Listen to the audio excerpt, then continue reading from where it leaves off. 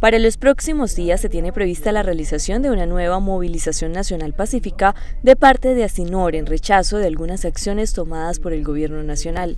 Se va a continuar con esta protesta social a nivel nacional eh, hemos venido planteando una cantidad de temas, el gobierno venía diciendo que no, ahí van apareciendo, apareció primero el holding financiero, luego aparece una y otra cosa y hoy por hoy aparece lo de la reforma pensional que nos decían que era falso, que no era cierto y viene con todo lo que veníamos diciendo. Entonces eh, se justifica y hoy más que nunca las comunidades están en total acuerdo de que vamos a continuar porque hay que cambiar un poco el modelo, eh, este modelo económico que nos está llevando al traste a toda la población. En lo social realmente es una complicación.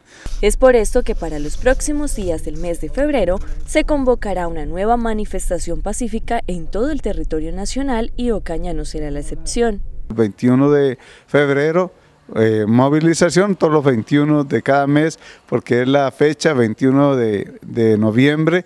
Entre los 21 vamos a seguir haciendo. El 8 de marzo, en la eh, conmemoración del Día de la Mujer, vamos también a hacer alguna actividad.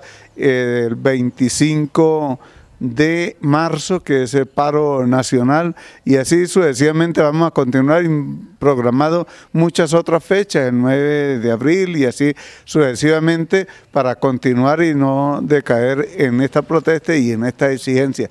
Y pedirle al gobierno que se siente a negociar Hoy está citado nuevamente a diálogo, pero esperamos es que haya una negociación, que haya unos pactos de cambio de estructura y de que se mire diferente, sobre todo a la clase trabajadora, a los jóvenes, que no se les maltrate, que no se propongan eh, eh, factores o eh, términos de laborales como los que se están en este momento saliendo a la luz pública por parte del gobierno.